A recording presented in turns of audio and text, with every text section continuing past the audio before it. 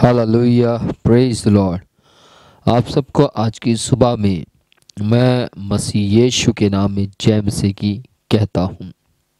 और मैं आप सबका मसीह यीशु के जीवित लहू और जीवित वचन में स्वागत करता हूँ। आज की सुबह के वक्त में हम सीखेंगे कि परमेश्वर का वचन क्या कहता है। हम सीखेंगे, मैं दाखलता हूँ। प्रभु यीशु ने कहा मैं दाखलता हूँ, तुम डालियाँ हो।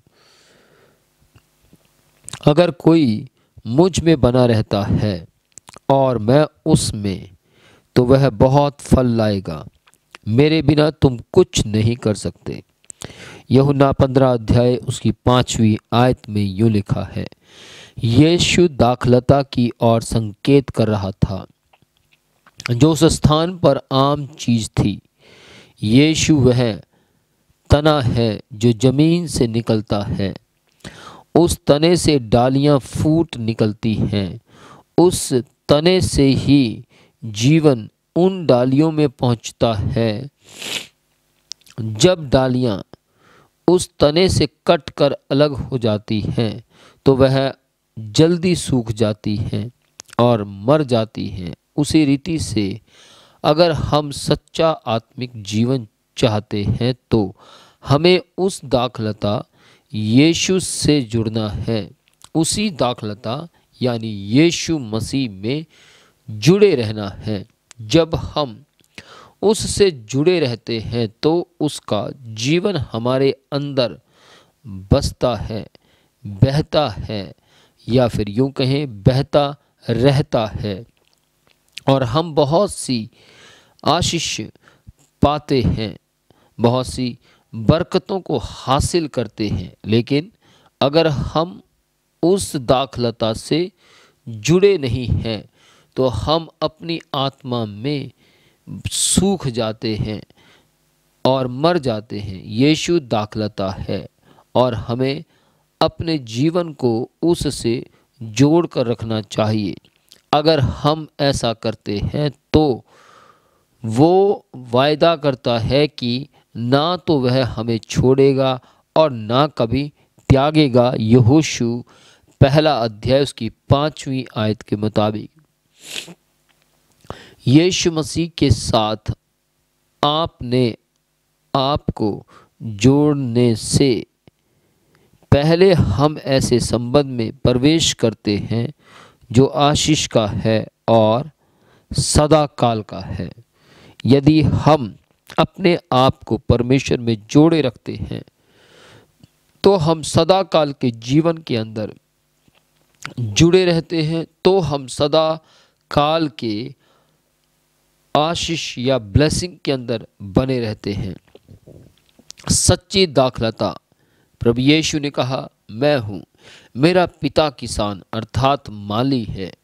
यीशु मसीह जीवन को प्रदर्शित करने के लिए ये बात कह रहे हैं। यहाँ पर दाख और उसकी लताओं का उदाहरण देता है। आज आपको और मुझे समझना है इन बातों को कि परमेश्वर हमें डालियाँ क्यों कहता है। जो डाली दाखलता में जुड़ी रहती है, वो बहुत बहुत बहुत फलती है। बहुत तेरी आत्माओं को जीत कर लेकर आती है। इज़राइल को दाग कहा गया। किंतु वह एक बांझ और भ्रष्ट दाख निकली। इज़राइल को दाख कहा, लेकिन फिर भी वो एक बांझ, यानी परमेश्वर के लिए फल, फ्रूट, यानी आत्माओं को जीतने वाला इज़राइल ना हुआ। मसीह लोग शाखाएँ हैं। जिस प्रकार एक शाखा, उसमें दाख का रस प्रभावित हुआ।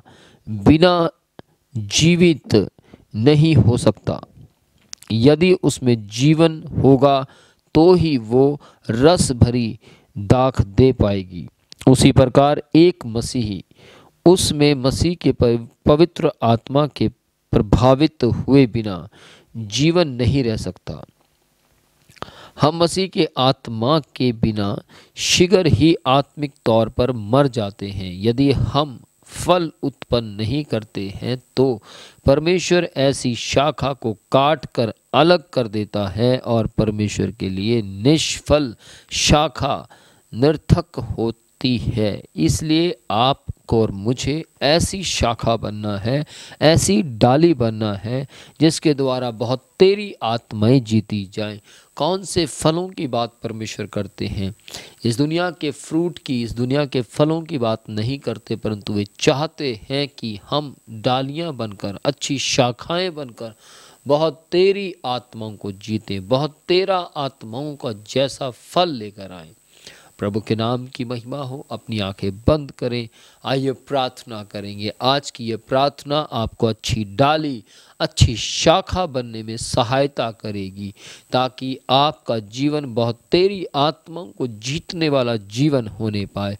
मैं मसीह यीशु के नाम में अनुग्रहकारी परमेश्वर, अपने इन सब परिवारों के लिए प्रार्थना करता हूँ, जिन्हें आपने अपने पवित्र लहू के द्वारा खरीद लिया है। जिन्हें आपने अपने मांस को तोड़वा कर परमेश्वर अपने आप को क्रूस पर बलिदान देकर बचाया है। मैं इन सब पर आपके आशीर्वाद को माँगता हूँ। मसीह यीशु के नाम में प्रभु, ये लगातार आप में जड़ पकड़ने पाए, लगातार परमेश्वर बहुत तेरी आत्माओं को जीतने पाए, लगातार ये अपने परिवारों को जीतते और जीतते हुए आगे बढ़ने पाए।